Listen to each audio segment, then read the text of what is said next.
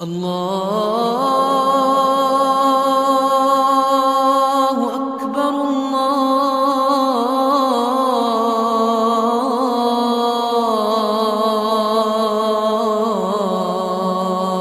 الله أكبر About 1.8 billion Muslims around the world observe the fasting during Ramadan. Ramadan comes on the ninth month of the Islamic lunar calendar According to Islamic belief, it is to commemorate the first revelation of the Quran to Prophet Muhammad. During Ramadan, Muslims wake up before the sun, eat a meal which is known as suhoor, and begin their fast with the first prayer of the day and dawn called Fajr. Ramadan is part of uh, pillars of Islam because in Islam we have five pillars of Islam. The first pillar is uh, al-iman, which is uh, faith. The second one is as-salat, which is praying. The third one is zakat, which is uh, alms uh, giving. The fourth one is Ramadan, which is the fasting. And the last one is Hajj, which is the pilgrimage.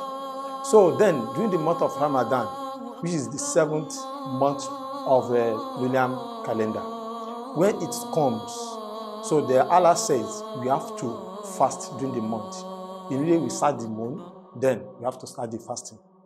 I get me now because it is an uh, it is an order from Almighty Allah that all Muslims must observe fasting at the month of Ramadan.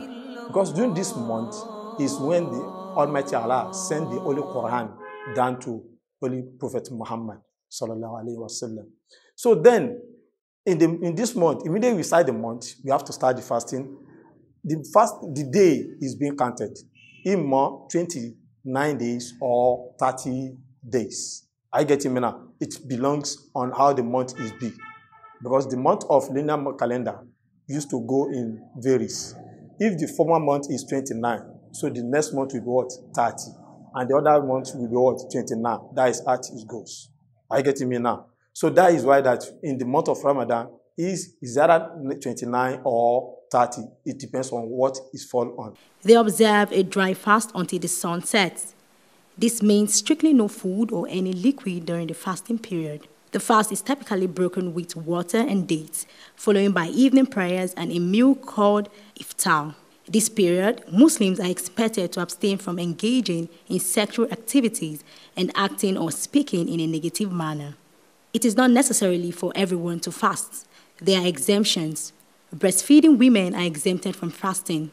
Very young children, individuals who are chronically ill, women who are menstruating, or individuals who are temporarily ill are allowed to stop their fast and make them up at later time. As a Muslim, you must observe fasting because being a Muslim, as a fourth class of Islam, you have to do what? Do it. That is why Allah Almighty Allah say in the Holy Quran, chapter 2, verse 184 to 187. Allah said, I have ordered you to fast in the month of Ramadan as it has been for those before you. Are you getting me now? And these days are counting.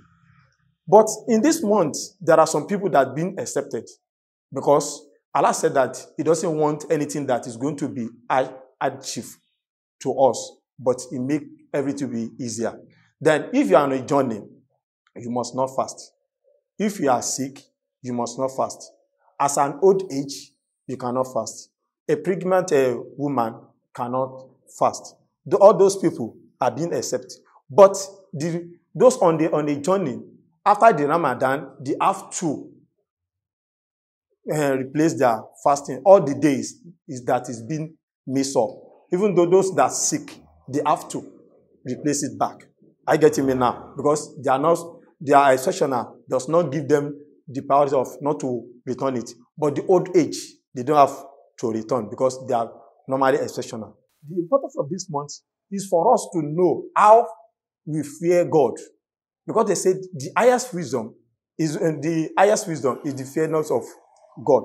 So then, if you are a Muslim and you did not sincere to yourself, you cannot be sincere to Almighty Allah.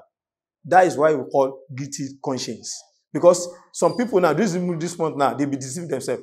And by saying I am sick, whereas they are not sick, it is because they are not sincere to themselves. Ramadan is followed by celebration known as Eid al-Fitr, where Muslims celebrate with feast, family, and friends for the blessings the month brought to them.